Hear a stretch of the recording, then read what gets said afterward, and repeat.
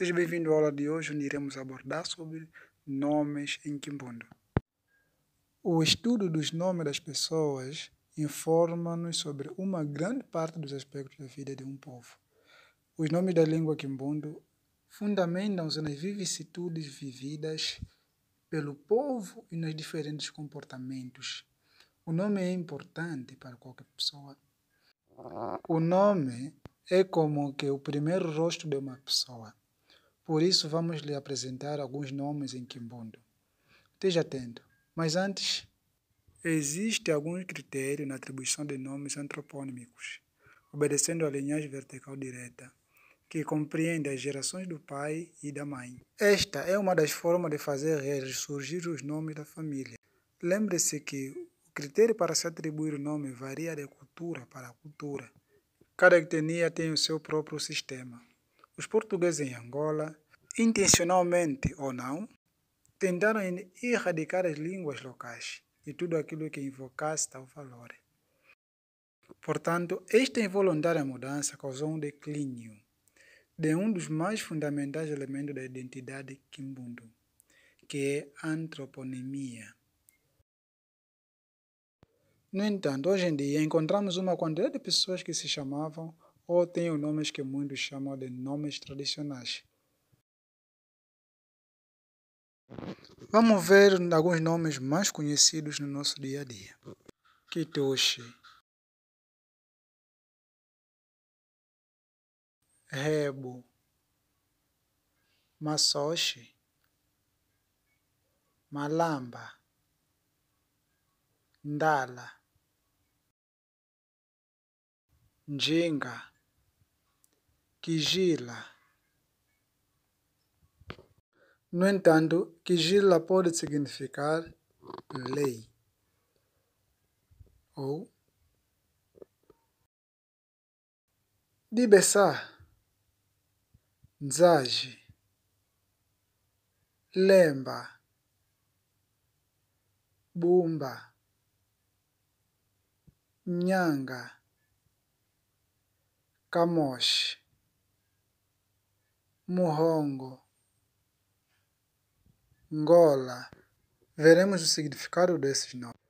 Pena é que hoje estes nomes em Quimbundo, enraizados na cultura e na história deste povo, estão a desaparecer. Cada pessoa pode escolher os nomes que quer para o seu filho. Outro motivo, a verdade é que ao optarem pelos nomes de estrangeiros, ou pela fusão que resulta dos nomes dos cônjuges,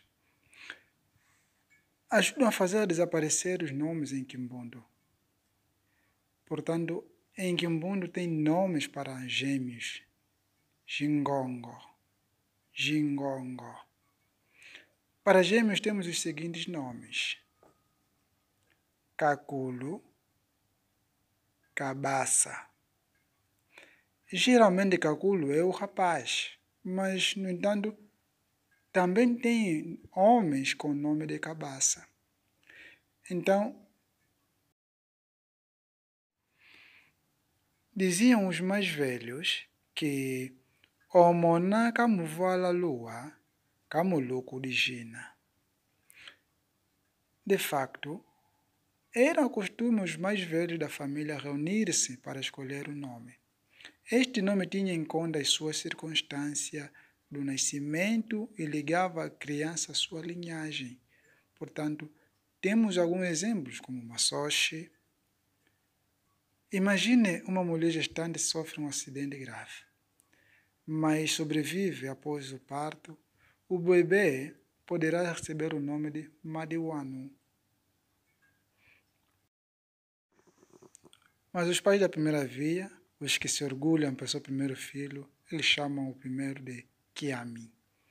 Assim, os nomes podem resultar das circunstâncias e do momento da gestação. Cada criança é única com as suas circunstâncias de nascimento, e isso pode fazer ter um nome.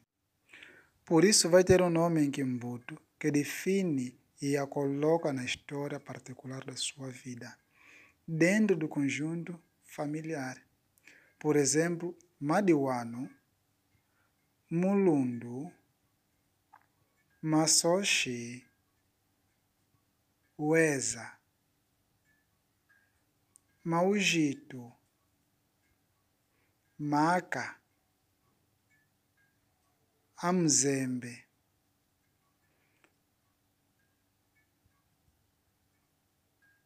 No contexto da cultura quimbundo, quando ocorre infertilidade num casal, normalmente ou geralmente o processo de cura é feito pelas tias do rapaz. A seguir vamos ver mais alguns nomes. Nzaji, Kitumba, Malamba, Kitushi, Kioza,